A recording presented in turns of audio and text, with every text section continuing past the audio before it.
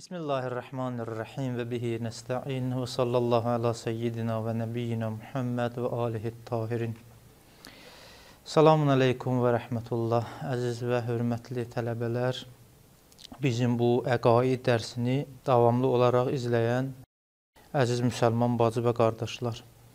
Keçən dərsimizdə Allah Mütəalın sifat-i sübudiyyəsindən olan e, qudrət sifəti barəsində danışdıq və qeyd olundu ki, e, Allah Mütəalın zati sifətlərindən biri də e, Allahın qadiri mütləq olmasıdır. Qadir yəni qüdrət sahibi, mütləq də yəni Allah Mütəalın qüdrətinin heç bir məhdudiyyəti yoxdur və heç bir işin, heç bir e, məxluqun, heç bir mövcudatın e, müqabilində aciz deyil. Bunu demək olar ki, bütün müsəlmanlar, hətta qeyri-müsəlmanlardan olanlar da qəbul edirlər. Amma burada önəmli məsələ budur ki, bizim kəlam alimləri və əqidə barəsində bəhs edən alimlər e, bu sifəti bəhs edəndə e, önəmli məsələlərdən biri olan e, bu məsələyə işarə edirlər ki, Allah mütəal e, qadirdir, bəs bunu hamı qəbul edir. Lakin qadir iki cür ola bilər qadiri muxtar və qadiri mucəb. Bu əqaid elmində bir termindir. Qaid qa, qadir muxtar o varlığa deyilir ki, öz etdiyi işlərində və qüdrət emal etdiyi işlərində ixtiyar sahibidir. Hər vaxt istəsə bunu edə bilər və hər vaxt istəsə də onu tərk edə bilər. Bunun misalı biz insanlar ola bilərik. Məsələn, hər vaxt mən istədim, sən istədin, oturarsan, istirahət edərsən, e, yemək yeyərsən və başqa bir e, bunun kimi işlər. Amma bəzən də e, bəzi varlıqlar vardır, onların da qüdrəti vardır. Bəzi əsərlər ondan e, baş verir, lakin onlar bu əsərdə, bu işi etməkdə e, ixtiyar sahibi deyillər. Məsələn, Günəş hal-hazırda bu aləmi işıqlandırır, atəş yandırır. Bu yandırmaq atəşin xüsusiyyətidir. Və yaxud da bu dünyanı işıqlandırmaq günəşin xüsusiyyətidir. Lakin günəş işıq e, nur saçmağında və bu dünyanı işıqlandırmağında o cümlədən atəş öz yandırmağında ixtiyar sahibi deyil. Eləyə bilməz ki, atəş olsun amma yandırmasın. Bəli, tarixdə olub Allah Mütəalda Quranda buyurur: Allah iradə edən vaxtında atəş də öz yandırmaq qüvvəsini əldən verə bilər. Amma atəş özü özlüyündə eləyə bilməz ki, desin ki, artıq mən bu gündən e, yandırmaq istəmirəm. Yandırmaq xüsusiyyəti atəşin necə deyirlər ki, xüsusiyyətlərindəndir. O cümlədən günəşin bu dünyanı işıqlandırması. Bəs buna əsasən günəş işıq saçmaq qüdrətinə malikdir. Lakin bu qüdrət onun üçün necə deyirlər, ixtiyari deyil. Eləyə bilməz ki, işıq saçmasın, nur saçmasın. Və həmçinin atəş də belədir. Biz ki Allah Mütəal barəsində deyirik, Allah Mütəal qadirdir biz birinci mənada deyirik Allah Mütəal qadirdir. Yəni Allah Mütəal öz işlərində tam ixtiyar sahibidir. Belə deyil ki, Allah Mütəal bu dünyanı yaratmaqda, bu dünyada müxtəlif işləri, mələkləri, insanları yaratmaqda məcbur olsun. Hər hansı bir qüvvəsə və ya heç bir qüvvə, xarici qüvvə olmadan belə öz zatında məcbur olsun ki, bu şeyləri yaratsın. Yox, belə deyil. Allah Mütəal qadirdir və bu qüdrətində ixtiyar sahibidir. Biz istəyirik bu dərsdə bu mətləbi isbat edək ki, Allah mütəal e, necə deyirlər, qüdrət sahibidir, lakin bu qüdrətində ixtiyarı vardır.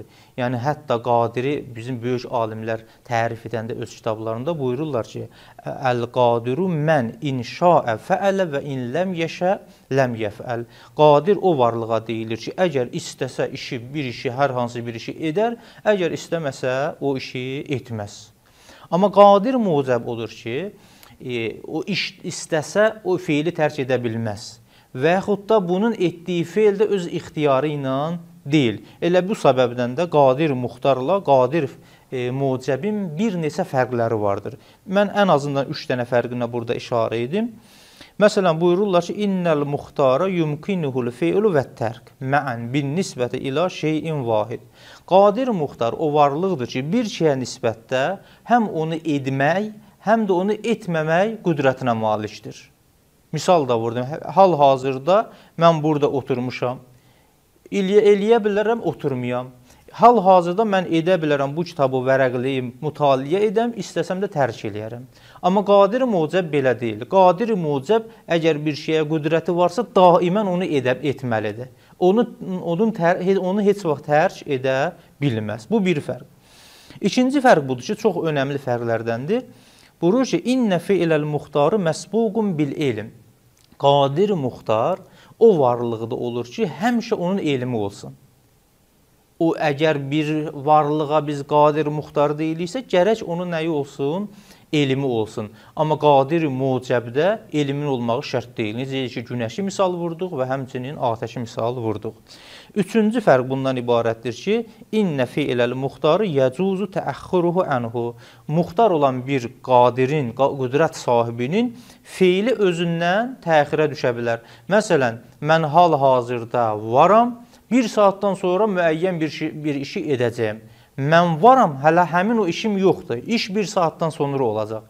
Amma qadir mucəbdən onun feili, onun əsəri ayrılmır. Atəşdən heç vaxt yandırmaqlıq xüsusiyyəti ayrılmır. Günəşdən heç vaxt nur saçmaqlıq xüsusiyyəti ayrı deyil.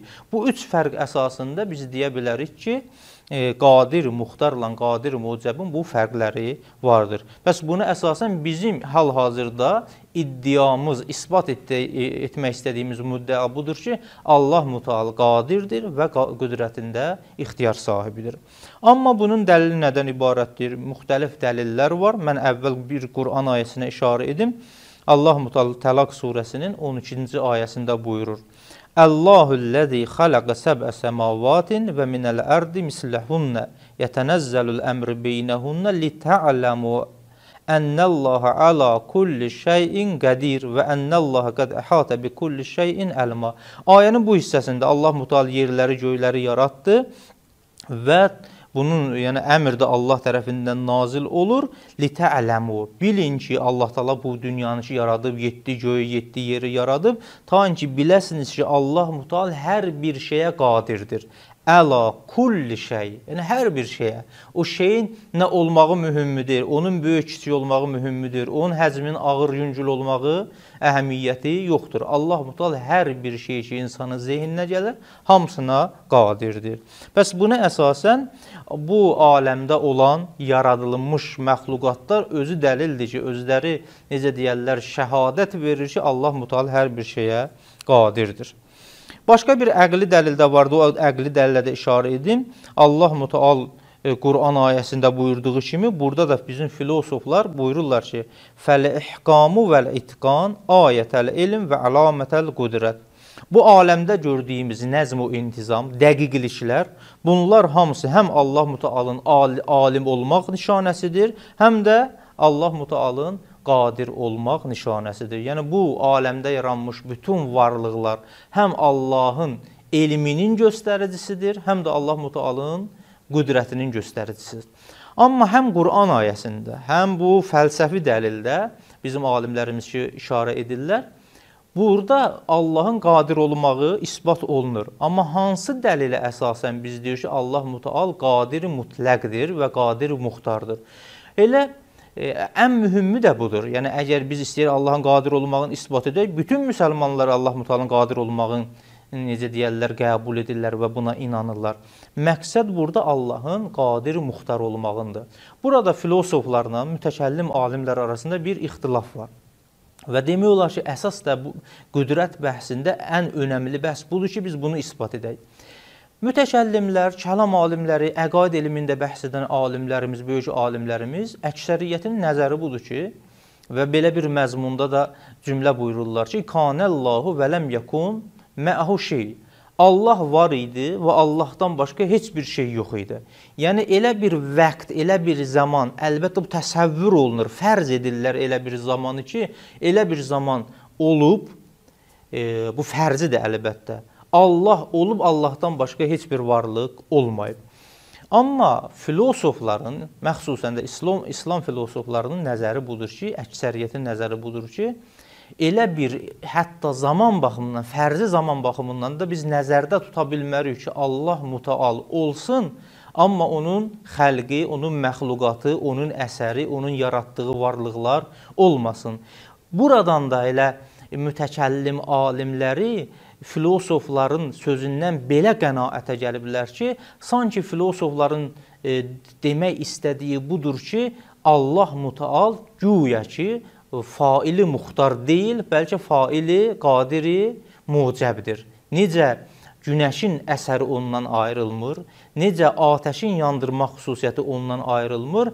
Əgər biz desək ki, Allahla həmişə onun xəlq etdiyi məxluqatda olub, filosoflar ki bunu deyir, onlar fikirləşiblər ki, mütəkəllimlər zehninə belə gəlib ki, bəs onların sözünün mənası budur ki, Allah mütəal da həmişə onun kənarında onun məxluqatı da olubsa, yaratdığı məxluqatlar olubsa, bu sözün mənası budur ki, Allah mütəal qadiri muxtar deyil, bəlkə qadiri mucəbdir.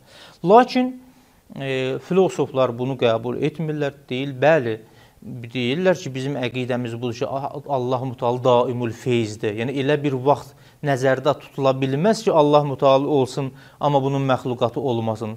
Lakin bundan siz nəticə ala bilmərsiniz ki, Allah Mütəal faili mucəbdir. Bəlkə Allah Taala istəsəydi yaratmazdı. Lakin istəyib və bu istəməkdə daimidir və əvvəldən də bunun eləyib xəlq edib. Pəs bu qüdrət barəsində E, əlbəttə keçən e, dərsimizdə bunların əksəriyyəti təkrar olunmuşdu. Fasilə düşdüyü üçün mən biraz da əlavələr etdim. Amma bura qədər biz Allahın faili, qadir, muxtar olmağını isbat etdik. Lakin mühüm məsələlərdən qüdrət bəhsində budur ki, Allahın qüdrətinin gərək biz ümumiyyətini isbat edək. Bəli, Allah Taala qadirdir.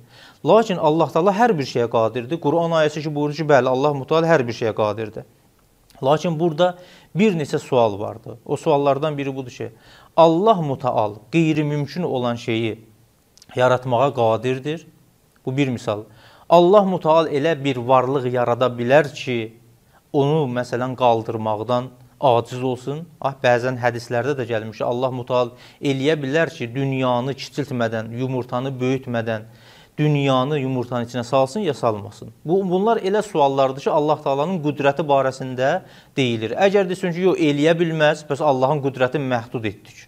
Əgər desək ki, yox eləyə bilər, axı bu necə ola bilər? Yumurta böyümədən, dünya kiçilmədən dünya yumurtanın içinə daxil olsun. Bu suallar həqiqətdə e, əqidə elmində, kəlam elmində bəhs olunub. Bunlara da bizim cavabımız vardır. Cavab xülasə olaraq budur ki, bu şeylərin baş verməsi əqli baxımından mahal olan və qeyri-mümkün olan bir şeylərdəndir. Və bu da səbəb olmur ki, Allah Mütəalın qüdrəti məhdud olsun. Baxın, e, Allah Mütəal siz ki deyirsiniz, yumurtanı böyütmədən, dünyanı kiçiltmədən və yaxud da bu yer kürəsini kiçiltmədən yumurtasını yumurtanın içinə daxil etsin. Bu sözün mənası budur ki, bir şey eyni zamandadır, eyni zamanda ki kiçikdir, həmin zamanda da böyük olsun. Bu da əqli baxımından qeyri-mümkün olan bir şeydir. Yəni bir bir şey bir anda həm böyük olsun, həm kiçik olsun. Necə deyirlər, bu məsələni dərk etmək çox bədihi və aksiyum olan məsələlərdəndir. Və yaxud da bəzən sual edirlər, Allah Taala eləyə bilər ki, özü kimi bir Allah yaratsın.